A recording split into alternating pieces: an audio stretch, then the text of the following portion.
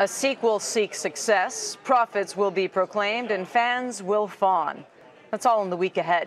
Movie sequels have had a very hard time getting Americans to the theater this summer, but War for the Planet of the Apes could break that pattern. Rotten Tomatoes and Metacritic give the movie unusually high ratings for an action film. Box office results from the film's first weekend will be out on Monday.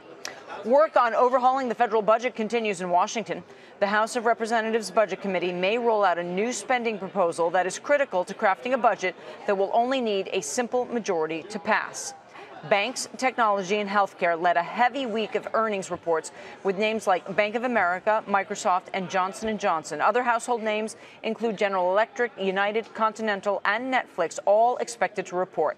Finally, if you like graphic novels or the movies that are based on them, it's time to go to San Diego. Comic Con opens its doors on Wednesday, and sci fi fans will get a taste of the upcoming Blade Runner sequel. Harrison Ford and Ryan Gosling will be there to talk about it. I'm Michelle Caruso Cabrera. Get all your business news on CNBC.